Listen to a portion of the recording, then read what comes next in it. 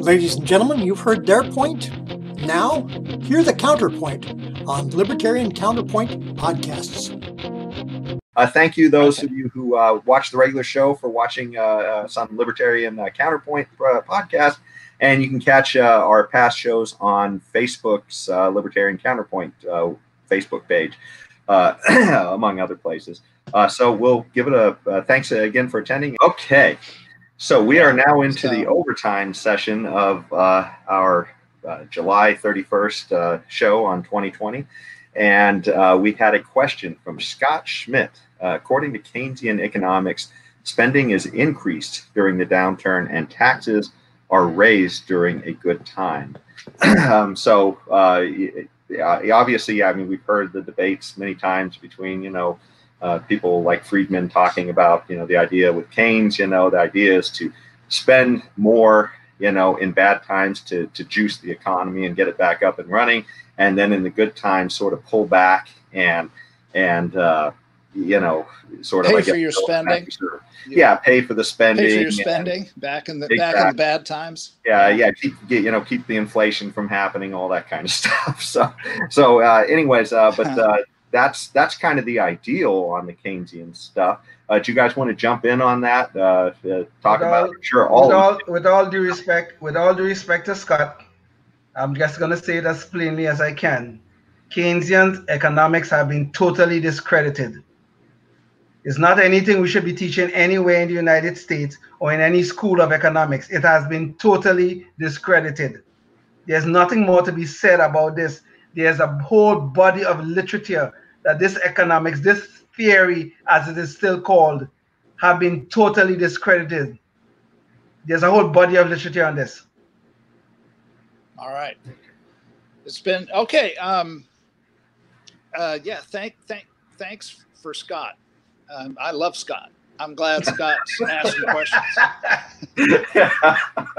and he is correct. Yeah, the, the Keynesian theory uh, is it's all about aggregate demand. So if demand is down during the bad times, the government spends to keep aggregate demand up. They spend on whatever they want to spend on, whatever that might be.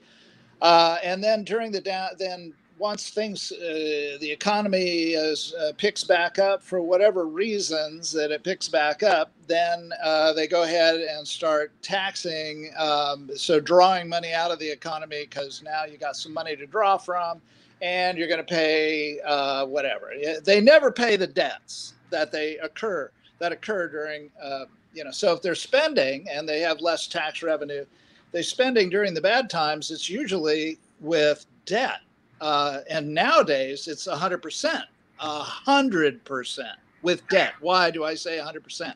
Because we can't even pay for the things without extra spending, without goosing the economy. We can't even afford that without deficits and haven't for decades, decades.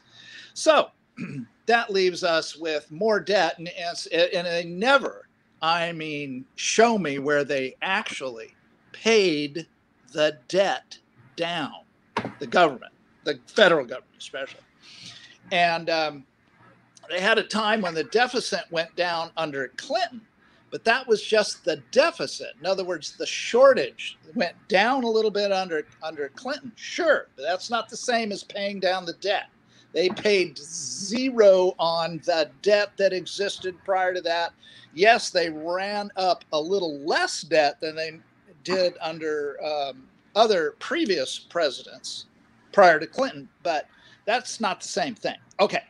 Um, so it's all about aggregate. Well, you know, Tim, Tim, while you're talking, I'm going to throw up a visual. Just keep on talking, but I, I, I have a graphic that at least shows some of what you're talking about. You know, so okay, yeah. So um, yeah, so so it's just about aggregate. Um, aggregate. They're trying to to keep the the total total demand up. Okay, in aggregate. In other words, it just doesn't matter if uh, you uh, buy a couple more F-22s or F-35s, you know, or or if you um, uh, pay somebody to dig a hole and then pay them to fill it back up. None of that matters to the Keynesians, but to people that have sound economic philosophy. What matters is what drives the economy forward by people where people will take risks. I don't see your graphic, but where people will take risks and actually invest in in new products and services. And so, um, yeah, so uh, there's your federal debt. And World War II got goosed. Um, yeah, interest. Your graphic is gone. Oh, they, oh Sorry there we go. Okay. Comes and goes. yeah, there's our federal debt. And uh, so, yeah, it went up in World War II. Um, they increased taxes something like 30% to pay for that war, and it wasn't enough. And so they went to the American public. And they didn't do what they do today, going, hey, don't you worry, Uncle Sam's going to take care of you. No, instead, they said, hey, we, we can't pay enough, even with our 30% increase in federal income tax. So we're going to have to ask you to buy bonds, war bonds, to fund the war effort. So what did Americans do? They got together and they they scrimped and saved and they bought war bonds, which are is government debt. So the debt, total debt, was actually quite low after right after World War II.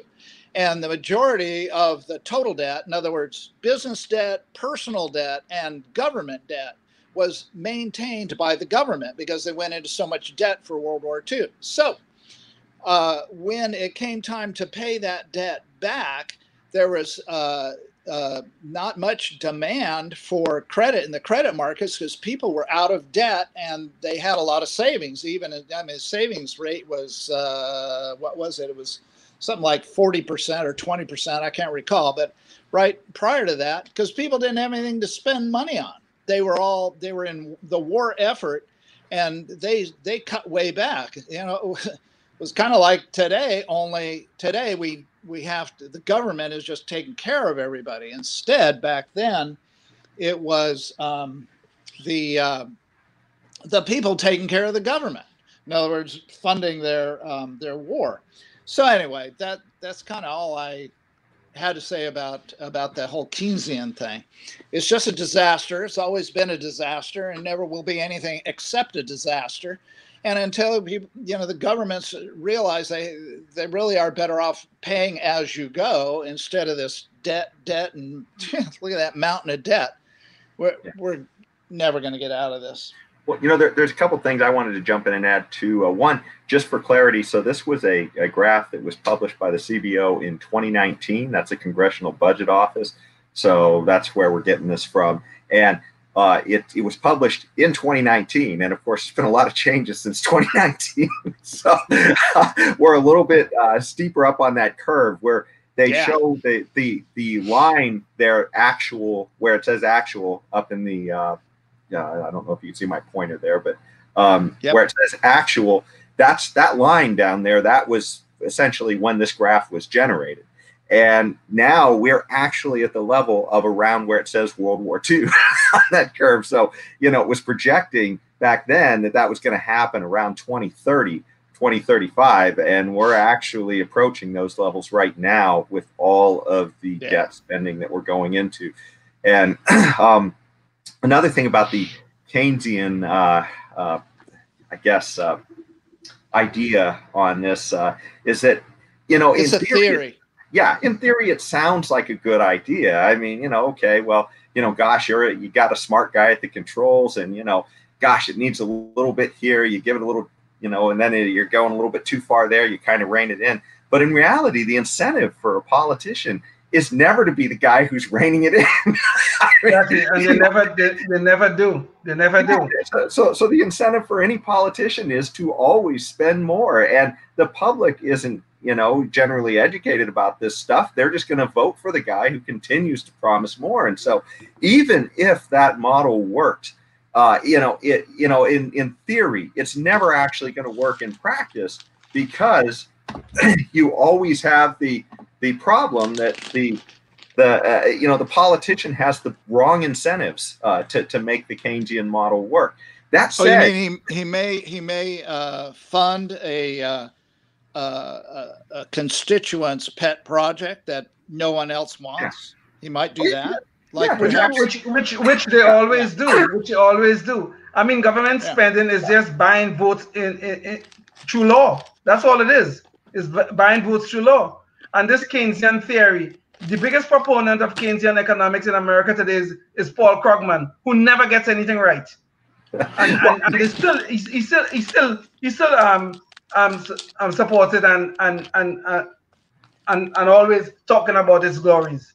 But that that brings up the second flaw in the theory, I think, and that's that there is a smart guy at the center of everything, making the decisions of how to spend this this uh, you know government you know uh, redirected money, uh, redirected funds. I mean, uh, part of the problem with central planning over a market economy is the market economy is essentially has a wealth of bottom up information. I mean, it's all price signals going back and forth from the people who are offering products and the people who want products. And that's kind of what's telling everybody in real time always, you know, sort of where the resources should be going, you know, and how we should be redirecting things. But in a in a central planning aspect, you literally have one guy who's trying to divine what's the best use of resources for everybody else. And so you have this bottleneck of information that occurs in, in top-down central planning.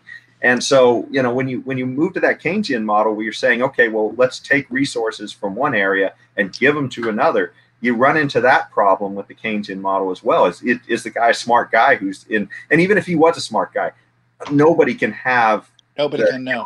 exactly the, the information no. to really yeah. know what the best use of all those, you know, that infinite wealth of information that comes from bottom up, you know, market market scenarios. But these yeah, these Keynesian these Keynesian economists never realize it's it is those market signal signals normally through the price that that causes goods and services to be efficiently allocated.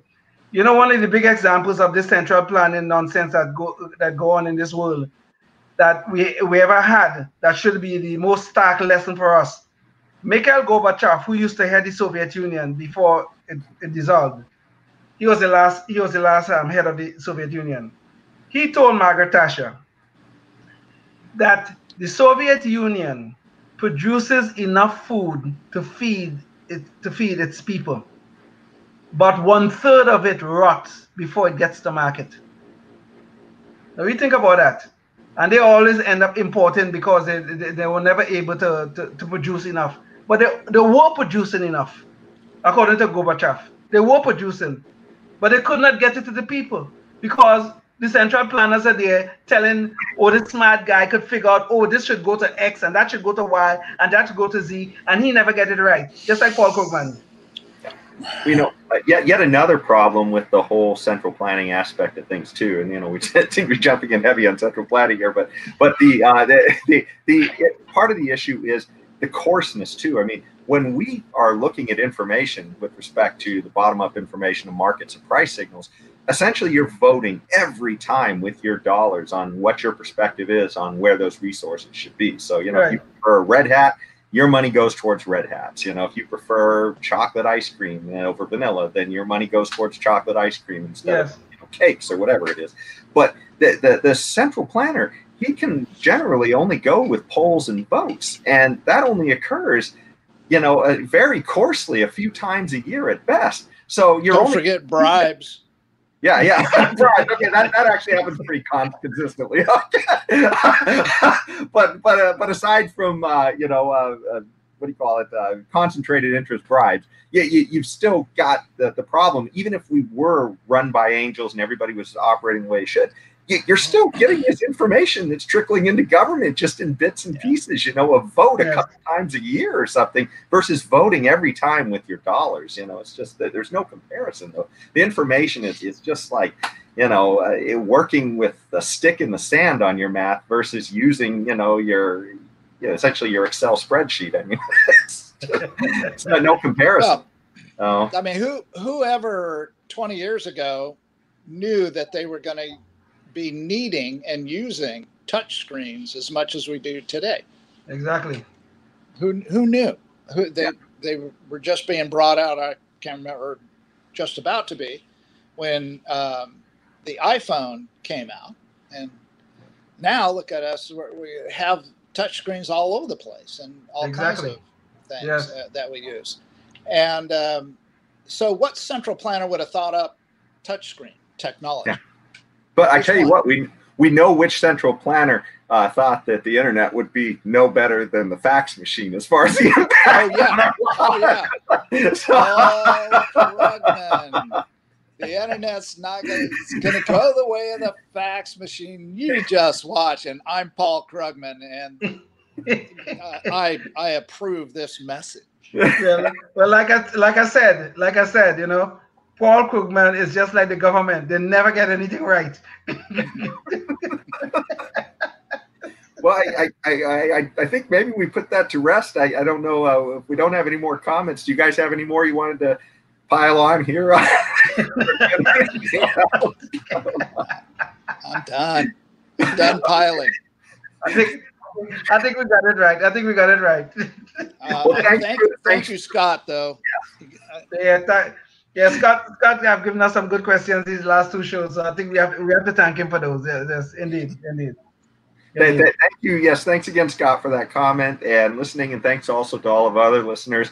And uh, you know, like I said, you can join us at uh, uh, our Facebook page on Libertarian Counterpoint and uh, catch our past shows on there. And uh, we look forward to seeing you at the next one. Uh, so, thank you.